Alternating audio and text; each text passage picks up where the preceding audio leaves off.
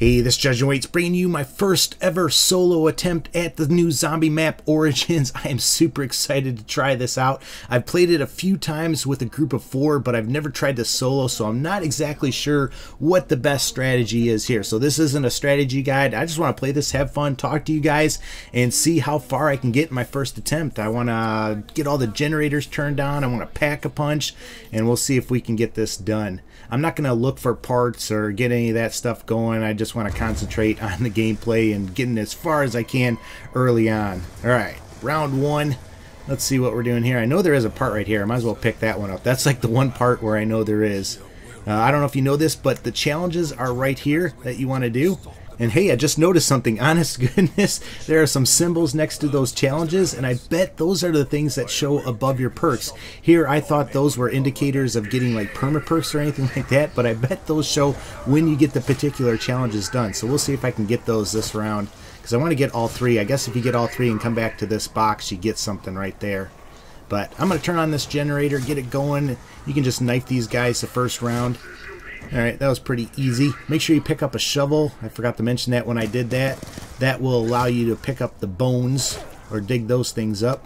I think that green glowing rock... Oh, double points. I think that green glowing rock is uh, part of the song Easter egg. I could be wrong. Maybe you guys know. But definitely pick up quick revive just in case you get knocked down. That's going to let you revive yourself. Alright, so I could be doing a lot better job maximizing points, but I just kind of want to get through this and not waste a whole lot of time. But I'm going to pick up the M14. Sometimes when I'm playing with a bunch of people, I like to just run to the next gun and get the MP40. But since I'm doing this solo, I don't want to get embarrassed, so I'm just going to pick this up. And speaking of running, let's just get going. Normally, I kind of like to stay till round 2, or I guess we as a group like to stay till round 2. But since I'm doing this, I'm just going to do it. Alright, so I'm not exactly sure where everything... Oh, that's awesome. I'm not exactly sure where everything at is at on this map. Oh, max ammo. Just what I didn't need. Probably when I really need a max ammo, I'm not going to get it. And I'm sorry, it's kind of hard to talk and think at the same time. Alright, so... Uh, oh, there's the mystery box.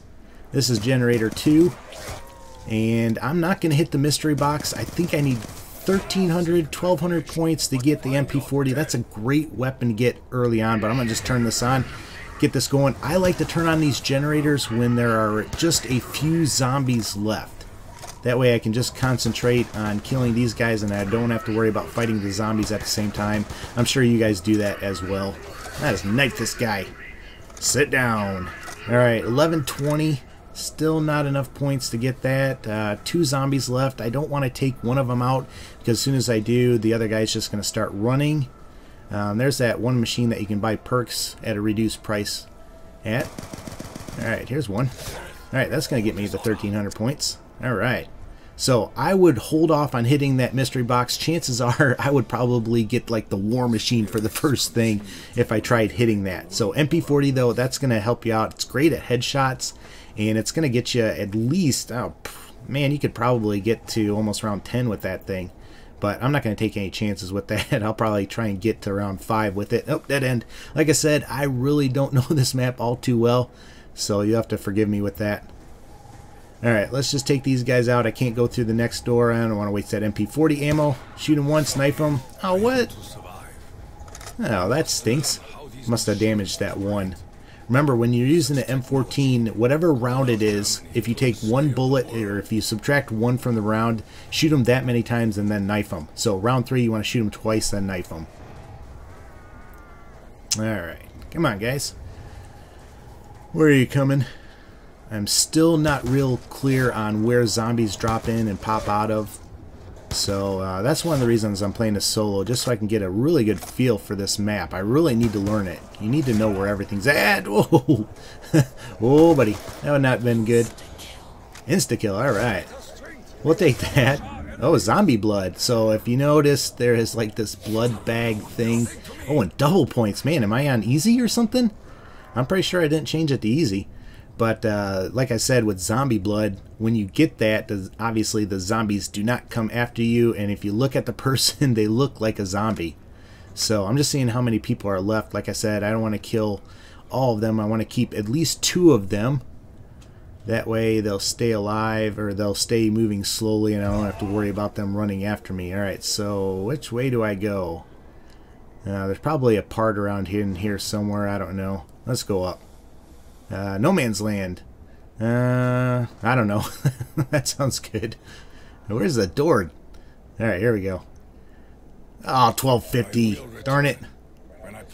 I thought that, oh, there's a rock. I think that's probably one of those Easter egg rocks for the song or something like that. Now, I think there was two of them, but I only see one of them. I'm going to rebuild this. I'll probably take him out. Hopefully he's not the last guy. Because I want to get to the next area.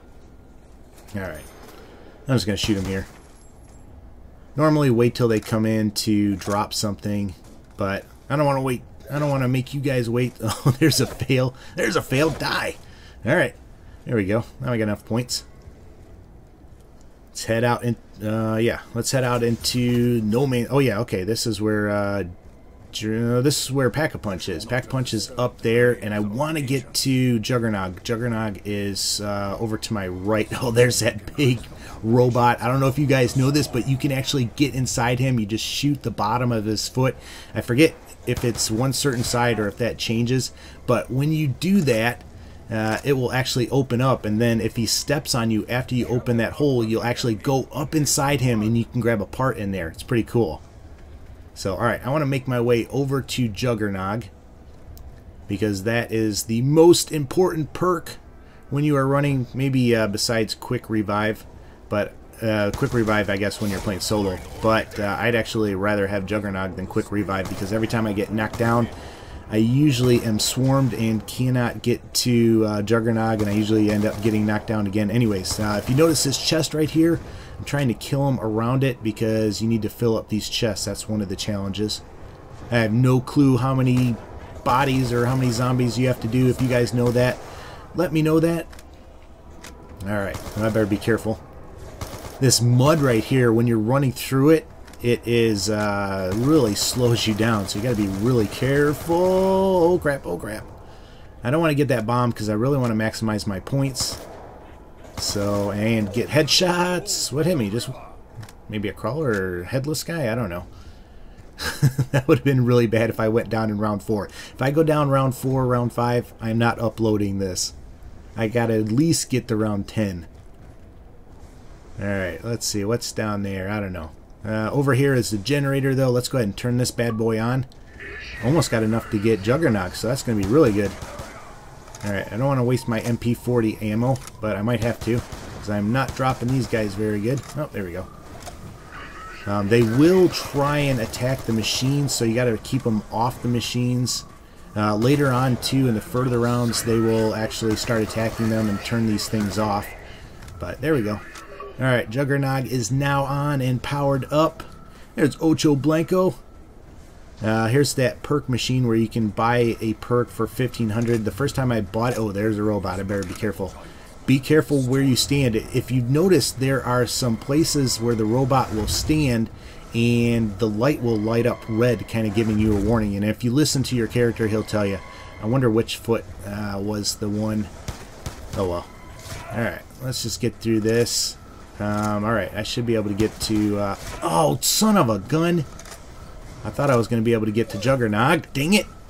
But apparently he must have been wounded a little bit. Alright, so uh, I need 60 points. I like how when you bring up the back menu it tells you what parts you have. You can carry all the parts and uh, you know tell you what you need to build something. The only thing that I've been able to build so far is a zombie shield. Alright, I can get Juggernog now. That's going to really help me out. I have a good chance. Alright. I should be concentrating on headshots. Whoa, buddy. Let's get out of here. Let's go. Let's go. That probably shouldn't be running in the mud. Alright, what do I want to do next? Um, really want to get all the generators turned on. But uh, I tell you what, this is where I am going to end round one because I don't want to make the videos over 10 minutes. But I'll pick this up in the second video. Let me know what you think about it. If you like this so far, I would really appreciate it if you give it a, a thumbs up. As always, though, take care and God bless.